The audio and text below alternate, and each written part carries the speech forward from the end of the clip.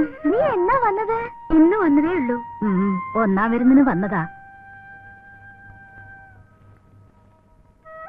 എന്നിട്ട് ജാനുന്റെ ആളെവിടെ? എണീറ്റില്ല. ഉറക്കം തന്നെ ഉറക്കം. എങ്കി വല്യമ്പ്രാട്ടിയെ ഒന്ന് കണ്ടിട്ട് പോകാലോ എന്ന് കരുതി ഞാൻ ഇവളെയും കൂട്ടിക്കൊണ്ട് പോന്നതാ. പുകല കൊടുത്ത് തൊട്ട് വന്നിക്കടി മോളെ. പുകയിലയോ എനിക്ക് എന്തിനാന്നാണ് ഈ പുകയില? അതങ്ങോട്ട് വാങ്ങിച്ചോണ്ട് അവളെ തമ്പ്രാട്ടി അനുഗ്രഹിക്കണം. അനുഗ്രഹിക്കാനോ? ഈ ഞാനോ? മേലേക്കോലത്തെ ഇപ്പോഴത്തെ മൂപ്പ് തമ്പ്രാട്ടിയാ. നാണി മരിക്കുന്നത് വരേക്കും പഴയതൊന്നും തെറ്റിക്കുകയില്ല. അങ്ങോട്ട് കൊടുക്കടി മോളെ. ഈശ്വരൻ അനുഗ്രഹിക്കട്ടെ. നിനക്കവിടെ സുഖമില്ലേ കുട്ടി? സുഖാണ് തമ്പ്രാട്ടി. വരെ ചോദിക്കട്ടെ. ജാനുവിനെ കാണാൻ നല്ല ഭംഗിയുണ്ട് കേട്ടോ. ആരാ നിന്നെ ഇങ്ങനെ ആക്കിയെടുത്തത്? നിന്റെ ആളോ? ഞാൻ നന്നായിരിക്കണോ കൊച്ചുംപ്രാട്ടി കൊള്ളാം. നീ അവിടെ പോയിട്ട് എന്താ ഈ ചെയ്യണത്? എന്ത് ചെയ്യാൻ? ആഹാരം ശരിക്കും കഴിക്കുന്നുണ്ടാവും. അയ്യോ ഇല്ല. ഇവിടെ കഴിച്ചതിനേക്കാൾ വളരെ കുറിച്ച് അവിടെ ചെന്നിട്ട് കഴിക്കുന്നുള്ളൂ. എന്നിട്ട് പിന്നെ എന്താ ഇങ്ങനെ?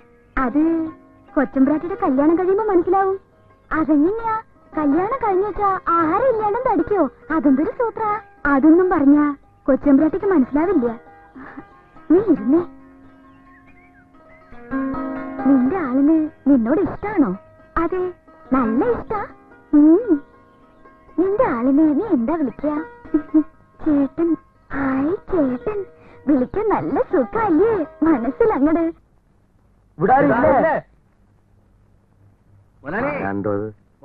സംഭാവന പിരിവുകാരാന്നാ തോന്നുന്നത് പിരിവുകാരാണെങ്കിൽ ഞാനിവിടെ ഇല്ലെന്ന് പറഞ്ഞേക്ക്.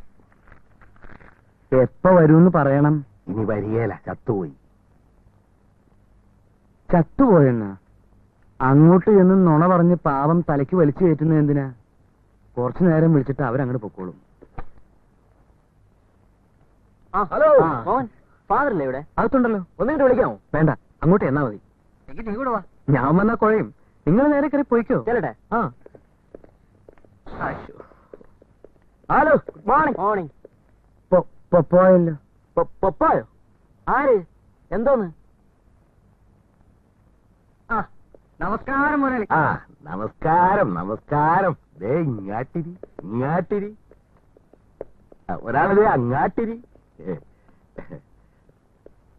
ഇങ്ങാട്ട് പാടൂ എന്ത്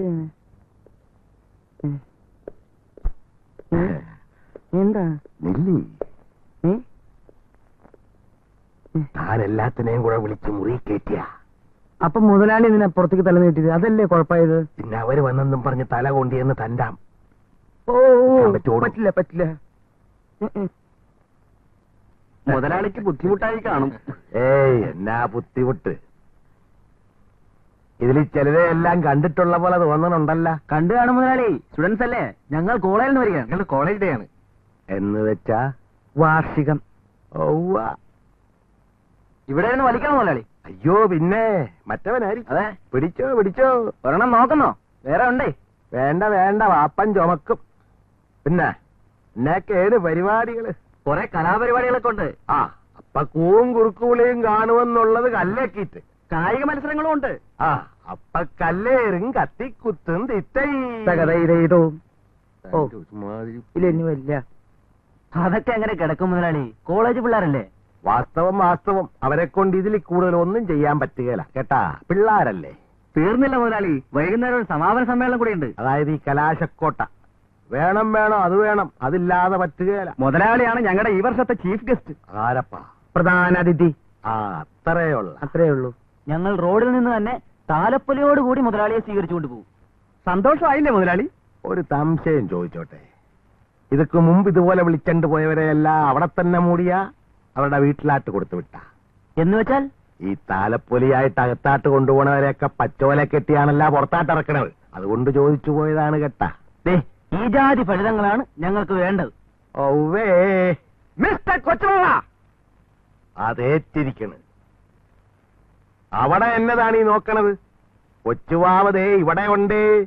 അന്തരീക്ഷത്തിൽ ചെന്താമര. വെണ്ടുരുത്തിയിൽ കുന്തിരിക്കം. അതിരിക്കട്ടെ. ഇത് നിങ്ങളെ പഠിപ്പിക്കുന്ന പ്രൊഫസറാണോ? അതോ നിങ്ങളുടെ കൂട്ടത്തിൽ പഠിക്കുന്ന സ്റ്റുഡന്റ് ആണോ ആ സാരമില്ല ചോദിച്ചോ. അതെല്ലാം പോട്ടെ മുതലാളി. നമുക്ക് പ്രശ്നത്തിലേക്ക് വരാം. മുതലാളിയെ കൊണ്ടുപോകാൻ ഞങ്ങൾ കാറുമായിട്ട് വരും. എന്നാത്തിന്? വിളിച്ചണ്ട് പോയേച്ചുവേ. ചാക്കിലി കെട്ടിക്കൊടുത്തയക്കാൻ വാപ്പനെ കിട്ടുകയില്ല മക്കവോ? കഴിഞ്ഞ വർഷങ്ങളിലെ അനുഭവങ്ങൾ ഒന്നും ഈ വർഷം ഉണ്ടാകില്ല മുതലാളി. ഈ വർഷം കോളേജ് യൂണിയൻ വേറെ പാർട്ടിക്കാണ്. പക്ഷേങ്കി കൂമ്പ എല്ലാ പാർട്ടിക്കാരുടെ ഒച്ച ഒരുപോലെ ഇരിക്കുവല്ല അതല്ലേ കുഴപ്പം. ചുരുക്കി പറഞ്ഞ മുതലാളി വരില്ല. അല്ലേ? നിങ്ങൾ എന്നിട്ടേ നിങ്ങളെ ഈ പരുവത്തിലാക്കി എടുത്തവരെ വിളിച്ചണ്ട് പോയി ചെരിക്കൊന്ന് പൂജ്. പാപ്പനെ വിട്. പക്ക പോ. വെറും കൺട്രി. പോവാ വാ നമുക്ക് പോവാ. ഒരു സാധനം. അപ്പളേ. ഇങ്ങാട്ട് വന്നേ ഇങ്ങാട്ട് വന്നേ. ദേ ഇതിവിടെ ഇങ്ങനെ വെച്ചിട്ട് പോകാൻ പോവാനാ. ഇതും കൂടെ എടുത്തണ്ട് പോ.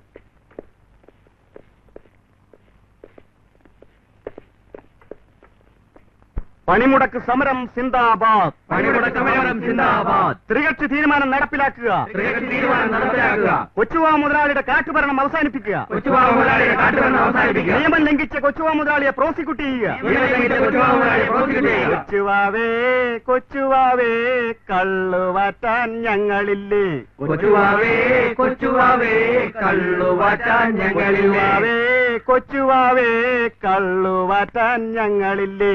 കൊച്ചുവാവേ കൊച്ചുവാവേ കള്ളുവാറ്റാൻ ഞങ്ങളില്ലേ? കൊച്ചുവാവേ കൊച്ചുവാവേ കള്ളുവാറ്റാൻ ഞങ്ങളില്ലേ? കൊച്ചുവാവേ കൊച്ചുവാവേ. ഇല്ലേ നിങ്ങ ഇങ്ങനെ കൊച്ചുങ്ങളെ ഉറക്കണത് പോലെ പാടിക്കൊണ്ടിരുന്നാലേ കൊച്ചുവാവ നടക്കണ വഴിക്ക് ഉറങ്ങിപ്പോകും. അതുപോട്ടാ വല്ലതും കഴിച്ചണ്ടാണ് ഈ വിളിയൊക്കെ വിളിച്ചു കൂട്ടണം ഒന്നും കഴിച്ചില്ല മുതലാളി. കണ്ടാ വിവരദോഷമല്ലേ കാണിക്കണത്? എടോ സാറേ തന്നാട് ഞാൻ പറഞ്ഞിട്ടില്ലോടോ എല്ലാ ദിവസവും ഇവിടെ വന്ന് ഇവരുടെ കാര്യം വേണ്ട പോലെ നോക്കിക്കൊള്ളണമെന്ന് എന്നിട്ട് താൻ ഇത് ആരട എടോ ഈ വിളിച്ചു വേണതേ ഉമ്മണിത്തെ എണ്ണമുള്ള കാര്യമാണ്. അറിയായ? കൊച്ചുവാവനെ എന്നാ ചെയ്യണമെന്നാണോ ഇവർ വിളിച്ചു പറയണത്. പ്രോസിക്യൂട്ട് ചെയ്യണം എന്ന് വെച്ചാ? എന്ന് വെച്ചാ അതായത് പ്രോസിക്യൂട്ട് ചെയ്യണം എന്ന് പറഞ്ഞാൽ അതിന്റെ ശരിയായ അർത്ഥം പ്രസാദിപ്പിക്കണം അങ്ങനെയും പറയാം. അങ്ങനെ ചെയ്യണോന്ന് ഉടയ തമ്പുരാനാട് വിളിച്ച് പറയുകയായിരുന്നു അല്ലേ? അതെ അതെ. അങ്ങനെ ചെയ്യണമെന്ന് മുകളിലോട്ട് പറയായിരുന്നു ഒരർത്ഥം പറച്ചിലുകാരൻ നടക്കണ്. എടോ താൻ തെങ്ങ കേറിയിട്ടുണ്ടാ തെങ്ങിലോ? ആ. ഉണ്ടല്ലോ. വെടല വിരിക്കാനല്ല ചെത്താൻ കേറിയിട്ടുണ്ടാ ചെത്താനോ? ആ. ഇല്ലല്ലോ. എന്നാ കൊച്ചുവാവ കേറിയിട്ടുണ്ട് ചെത്താൻ. അല്ല ഫസ്റ്റ് ചെത്തുകാരനായിരുന്നു കേട്ടാ. ഒരു ദിവസം ചെത്താൻ കയറിയില്ലെങ്കിൽ ചെത്തുകാരനും ചെത്തതെങ്ങനെ എന്തും വേണ്ട ഏതൊക്കെയുണ്ടെന്ന് തനിക്കറിയായ. അതിനിടെ വിളിച്ചു പറയുകയും കൂടി ചെയ്താലാ. പിന്നെ പറയാനുണ്ടാ. താന്തേ ഇവരിക്ക് വയറു നിറച്ച് എന്നാങ്കിലൊക്കെ മേടിച്ചു കൊടുത്തേച്ച് പുറകെ വന്നേര്. ഞാൻ മറ്റേ ഷാപ്പിലുണ്ടാകും ഇയാൾ എന്ത് മനുഷ്യനാ? ഞാനും അത് തന്നെ ചോദിക്കുന്നേ. ഇയാൾ എന്ത് മനുഷ്യനാ? ഇയാളുടെ പുറകെ നടക്കാൻ സാറിന് നാണാവില്ലേ? ജോലി തരൂ കൂലി തരൂ റേഷൻ വാങ്ങാൻ കാശ് തരൂ. ഏറ്റോ? എന്തോന്ന്? ജോലി തരൂ കൂലി തരൂ റേഷൻ വാങ്ങാൻ കാശ് തരൂ. ഏറ്റോന്ന്? ഞങ്ങൾ എങ്ങനെ കേൾക്കാനാ എന്നാ അതേ കേൾക്കണം. ഞാൻ അയാളുടെ പിന്നാലെ നടന്ന് തെറി കേട്ടോളാം. ഒന്നാം തീയതി തോറും കറക്റ്റ് ആയിട്ട് അയാൾ ശമ്പളം തരും. കുട്ടികളെ പോരണം അതുകൊണ്ടാ. മനസ്സിലായോ?